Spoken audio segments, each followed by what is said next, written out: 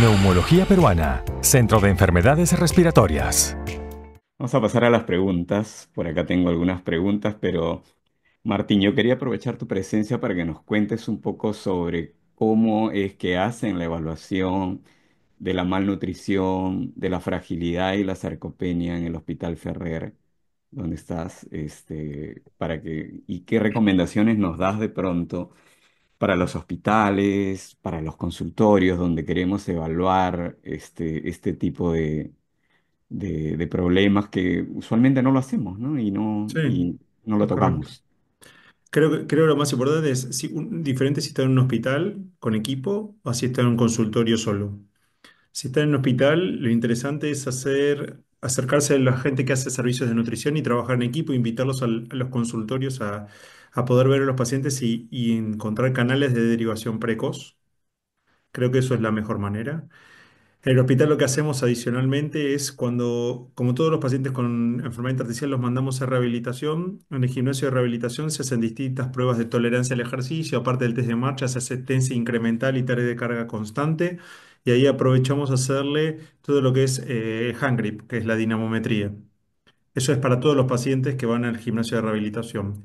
Y una de las maneras que yo les sugiero, si están en consultorio o están en el hospital, es utilizar estos cuestionarios que son como, como el ACT para asma o el CAT para, para EPOC. Estos cuestionarios ARC-F son de mucha utilidad a la hora de eh, cuando ustedes vienen, este, están los pacientes esperando en el consultorio este, y los tienen que atender y ya vienen con el cuestionario ya prehecho. Entonces eso, eso les da una pequeña idea.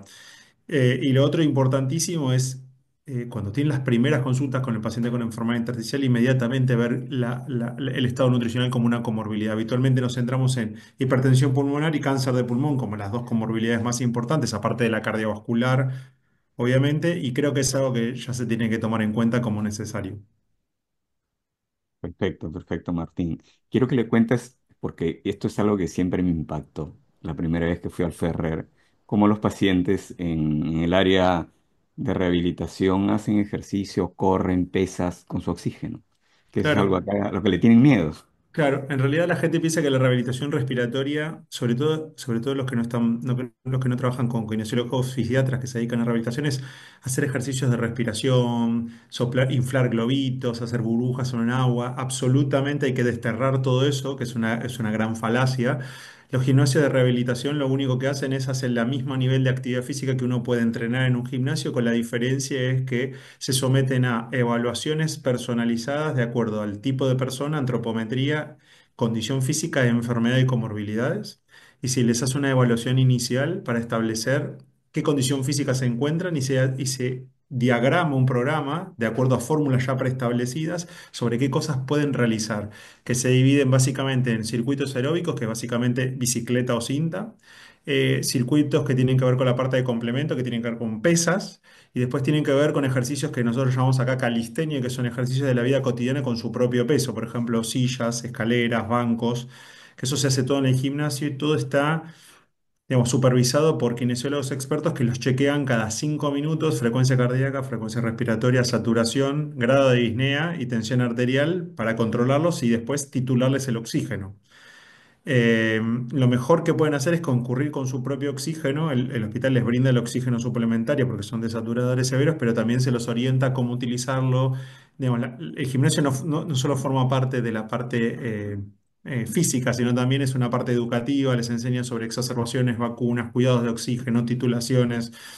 Y aparte ellos los ven tres veces por semana y nosotros los vemos una o dos veces cada tres meses. Entonces ellos están en contacto permanente con esto. Siempre es mejor en grupo que individual, que es la otra alternativa. Pero me parece súper importante. Ahí es donde también se- ellos detectan el tema de la sarcopenia. Buenísimo, buenísimo. Renato, yo siempre los pacientes me preguntan o me cuentan, doctor, ¿yo puedo consumir avena? La avena da tos, dicen, ¿no? Este, mi médico me ha dicho que no consuma avena. ¿Es verdad? En el asmático. Bueno, mm, realmente la avena, que yo sepa, no es un alimento que tenga un potencial alergénico muy fuerte. Incluso los dermatólogos utilizan la avena en forma de jabón cutáneo en los pacientes que tienen eczemas atópicos. Yo creo que depende mucho de la persona. Es como el, el mito de que la linaza es fría, porque también te lo dicen. No tomo linaza porque es fría, ¿no? Entonces, no es tanto que la avena sea fría, depende cómo la estás tomando. Si es que la avena, pues, contiene, aparte de ello, una serie de elementos como frutas, habría que ver si a lo mejor una de estas frutas es la que puede estar induciendo la intolerancia a la avena, pero no, depende mucho de la persona. Y al igual, cualquier tipo de alimento depende mucho del procesamiento y de la temperatura a la cual se toma. Algo muy importante es de que no se recomiende un asmático ni un extremo, ni lo muy caliente ni lo muy frío, porque ambos pueden inducir inflamación de la vía aérea. Muy bien. Y, y esto, y acabas de hablar de, de algo interesante que siempre me hablan, ¿no? E- Este alimento es muy frío, este alimento es muy caliente, eso, eso, eso no existe, ¿cierto? Claro, exacto. Es, es, es- es como le digo, es parte de la cultura popular, ¿no? Entonces dicen, no, no tomo esto porque es muy frío, ¿no? Eh, la linaza es muy fría, no tomo tal cosa porque me va a hacer daño, no como, por ejemplo, un, un paciente me decía, doctor, yo no como la papaya porque es muy fría. Yo le digo, pero ¿a qué te refieres con fría? No, es que de por sí es fría. No, le digo, si está a temperatura el ambiente, no hay problema. Si está en tu frigider, sácala, que se tempere y la consumes. No va a haber problema. Y, y, y y esto e- es un poco del rezago de la medicina ancestral, ¿no? Hipocrática, ¿no? Que hablaban pues del frío, el calor, ¿no? Doctor, eh, me dio frío y, y me vino la neumonía, que llaman la pulmonía, mayormente en el argot popular, ¿no? Como sabemos, el mecanismo es mucho más complejo que ello, ¿no? Martín, volviendo contigo. Gracias, Renato. Volviendo contigo. eh, ¿qué alimentos no debe consumir el paciente con fibrosis? Ah, eh, las restricciones alimentarias varían, digamos, cuando uno viaja mucho y conoce las distintas culturas, cada uno tiene su propia cultura gastronómica, entonces es muy difícil hablar, hablar globalmente de qué alimentos uno no debiera consumir.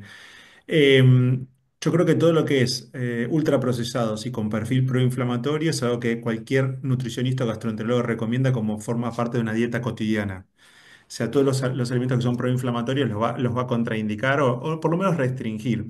Y todo lo que son los alimentos que son de perfil antiinflamatorio son los que van a recomendar. Yo creo que lo más importante acá es adaptarlo esto a los gustos de cada uno y a la cultura local de cada uno. Por eso es importante para mí, más que hablar de uno o dos alimentos, creo que lo más importante es tener las consultas de acuerdo a los gustos personales. Doy un ejemplo. Yo sé que el pescado y marisco es algo muy saludable, pero hay gente que no le gusta, entonces es, muy difícil decirlo, bueno, mira, me gusta la carne roja. Bueno, ahí va a haber que reemplazarla con otra cosa, pero que no sea pescado, y así sucesivamente. Digamos, en el mundo de lo que, los que, los que se dedican a nutrición, esto es como un crisol muy grande de, gustos, entonces me parece que es más individualizado. Si yo tuviese que decir, más que nada, cuanto menos ultraprocesado, como decía el doctor, colorantes y aditivos y todo eso, siempre va a ser mejor, pero eso es en cosas más globales. Desde el punto de vista hasta de frutas y verduras, hay- hay- hay mucho uso de pesticidas actualmente, que también se recomienda cuanto más orgánico mejor, pero también eso se asocia a un costo económico extra. Entonces, a un paciente que no tiene las condiciones económicas, que le vas a decir, bueno, mira, este ultraprocesado sale muy barato y este orgánico sale extremadamente caro, es normal que vayan hacia los ultraprocesados. Entonces, creo que también hay que adaptarlo a la condición eh, social que tienen y económica que tienen los pacientes. Entonces me parece que un, un solo alimento no sé si es la recomendación. Lo, lo mejor que yo puedo asesorar es tengan una consulta con el nutricionista que trabaja conmigo, elaboren un plan individual y en función de eso podemos ver cómo podemos lograr alternativas. Creo que ese sería el mejor mensaje para casa. Renato, me preguntan, dice, para niños con broncoespasmo se sabe que se recomienda omega 3, probióticos, prebióticos, pero y quiere saber las dosis. Creo que Diana tiene un niño con asma. Bueno, es una pregunta difícil de responder, pero va a depender mucho del peso, talla de, de la persona. En, adultos, mayormente está en un rango de 250 a 300 eh, miligramos de EPA y de HA, pero eso va a variar dependiendo las comorbilidades. Se ha visto de que con una dosis estándar de 250 a 300 va bien para asmáticos. Si es un asmático que tiene a su vez problema cardiovascular, eso se debe triplicar incluso más, porque aquí el problema vascular es el que predomina. Pero va a depender mucho, como le digo, de la evaluación del nutricionista correspondiente y, de acuerdo a ello. Con respecto a probiótico y prebiótico, en el mercado hay un montón. Estamos en alguno de los probióticos y prebióticos.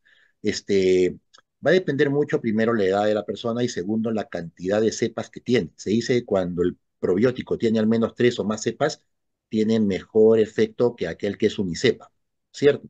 Y con respecto a prebióticos, mayormente son fibras naturales, ¿no? Que uno puede consumir como suplemento. Entonces, es una pregunta muy abierta, va a depender mucho del paciente.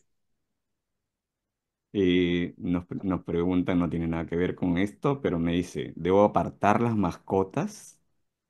No, sí, yo creo que esa pregunta se venía a venir porque lo puse en las diapositivas. No, no, no, no, eso es muy importante. Las mascotas son parte de la familia. Yo soy asmático y, y he tenido dos perritos. Hace poco mi perrita se murió, hemos estado muy tristes y la hemos tenido. Pero eso sí, cuando nuestros perritos tenían el cambio de, pelo, que es la muda que tienen dos o tres veces al año, lo que hacíamos inmediatamente es llevarlos a la peluquería, que la de perritos y rapados. Y venían para acá y de esa manera la- el pelaje se perdía en menor cantidad. Eso sí, jamás les permitimos que suban a la cama o entren al dormitorio, porque lastimosamente, aparte del pelo, la caspa y lo demás, puede tener un componente alergénico.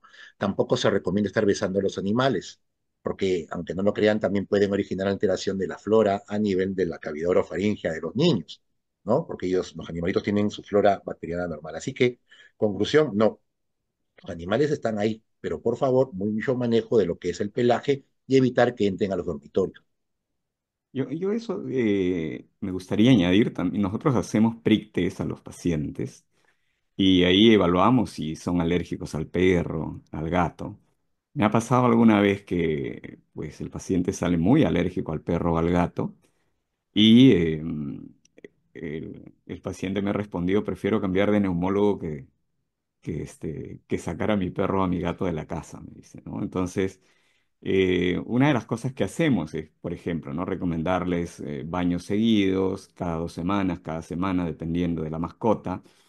Eh, mm, hay aspiradoras antialérgicas que también recomendamos para justamente eh, este tipo de pacientes que quieren mantener. Y por último, también le recomendamos la inmunoterapia para, este, para que puedan ir tolerando a, su mascota en el futuro, que funciona bastante bien. Hay inmunoterapia para perro, para gato. Y entonces por ahí también este, un poco de esa respuesta. Pero vamos a regresar a la parte que es específicamente de nutrición. Eh, Exactamente, si pudieras resumir, Martín, al paciente con fibrosis, eh, ¿qué le recomiendas para comer, aparte de una dieta mediterránea? Si tuviera que hacer, darle un suplemento al paciente. Em, la, gran mayoría de la gente viene ya con, con las publicidades de las empresas que, que salen por televisión y, creo que es muy importante diferenciar porque eh, los pacientes tienen comorbilidades. Entonces, por ejemplo, si un paciente es diabético, digamos, muchos de estos alimentos no, no- están preparados para ellos.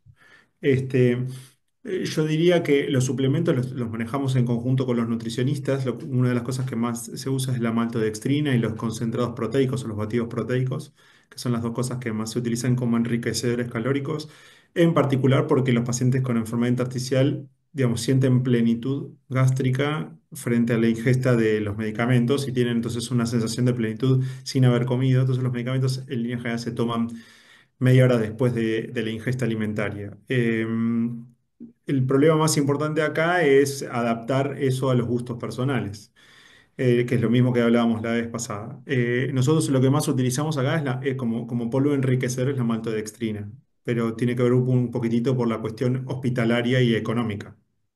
Eh, pero una de las cosas que trabajamos es, lo más importante de todo, más allá de qué, suplemento dietario le agreguemos, lo más importante para mí es, en el momento que se hace el diagnóstico, es la derivación precoz e inmediata. Hay, una frase muy famosa que uno tiene una fibrosis pulmonar idiopática, no espera que decline para tratar y no espera derivarla para un trasplante pulmonar y debiera hacer exactamente lo mismo con rehabilitación y con nutrición. Debieran ir, al, digamos, casi en el momento del diagnóstico.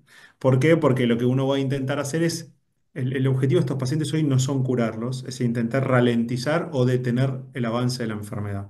Entonces, el objetivo para los neumólogos, para que se una, ide- una idea de un antibiótico que es ralentizar la enfermedad, debiera ser igual con la masa muscular y con la nutrición. Los nutricionistas no van a, in- en líneas generales, incrementar las masas musculares y los pesos de estos pacientes, sino lo que van a intentar es eh, que se mantengan el mismo peso y quizás cambiar un poco la composición corporal. Por eso el trabajo no es solamente del nutricionista, sino que si yo le doy el polvo enriquecedor debe estar acompañado de un programa de ejercicios. Recuerden ustedes, cualquiera de nosotros por arriba de los 40 años comienza a perder masa muscular y tiene debilidad muscular, que eso tiene que ver con nuestra edad. Entonces, si uno no trabaja esa, eh, eh, eh, esa fuerza y esa masa muscular, va, a perderse. Es, es, la, ley de la vida. Entonces, la enfermedad terciaria son procesos de envejecimiento acelerado y como tal requieren una gran energía para poder respirar. Y eso por eso lo genera, ustedes van a pensar en el paciente con fibrosis pulmonar como un paciente sarcopénico, como si fuera el fenotipo enfisematoso del EPOC, pero de manera avanzada. Y esa sarcopenia es, extremadamente rápida, a diferencia de los pacientes EPOC que, perduran durante años. Los pacientes con enfermedad intersticial fibrótica avanzada tienen una mortalidad de dos años altísima. Por eso es importante la derivación precoz. Buenísimo. Les agradezco mucho a ambos. Realmente siempre es un placer tenerlos, su amistad, pero además sus, presentaciones son muy, muy enriquecedoras. Gracias. Neumología Peruana, Centro de Enfermedades Respiratorias.